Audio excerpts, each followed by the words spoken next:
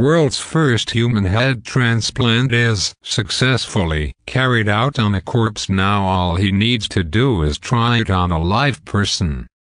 The announcement was made by Italian professor Sergio Canavero.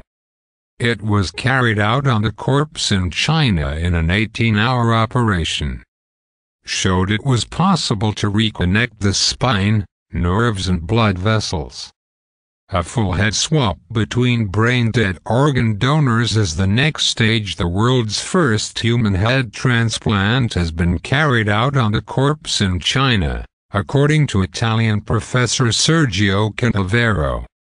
During an 18-hour operation, experts demonstrated that it is possible to successfully reconnect the spine, nerves and blood vessels of a severed head. A similar operation on a live human will take place imminently, the controversial professor claims. Professor Canavero, director of the Turin Advanced Neuromodulation Group, made the announcement at a press conference in Vienna this morning. The procedure was carried out by a team led by Dr. Xiaoping Ren, who last year grafted a head onto the body of a monkey.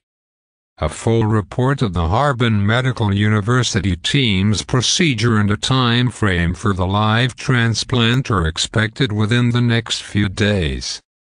Speaking at the press conference, Professor Canavero said for too long nature has dictated her rules to us.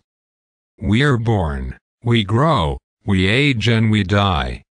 For millions of years humans has evolved and 110 billion humans have died in the process. That's genocide on a mass scale. We have entered an age where we will take our destiny back in our hands. It will change everything. It will change you at every level.